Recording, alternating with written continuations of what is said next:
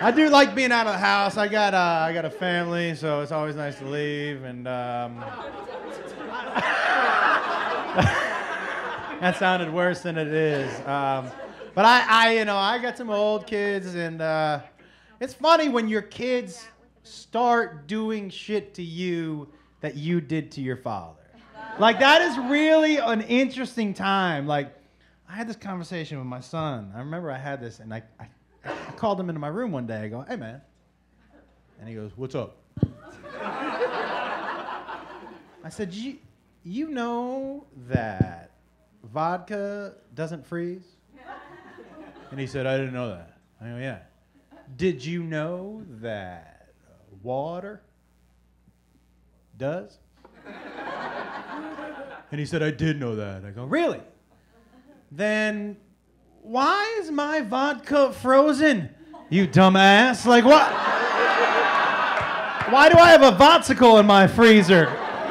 Look, we all stole booze from our parents, right? We all stole booze from our parents. But at least I was creative about it. I used to put apple juice on the patio for two weeks, right? So it would ferment.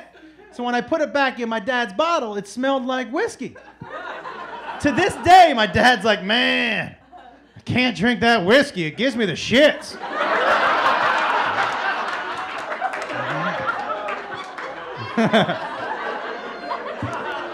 So I told my son, I was like, listen, man, I can't have you stealing things from me. You want to know what something tastes like? You're old enough. We can sit down in the living room and taste it. And he was like, okay, I never had beer before. And I said, okay. So I went out and I bought us a case of beer. And um, I was sitting there and I go, look at us. We're like, gentlemen, we're having a beer together. And, and most important thing is we're safe, right, buddy? Lesson number one is you never drink and drive. And then I got him fucking shit faced, right? he would finish a beer. I'm like, shotgun. He's like, what's shotgun? Glug, glug, glug, right? I murdered him, all right? And he, pa- oh, and he passed out on the ground. Yeah. So, um, so I shaved one of his eyebrows.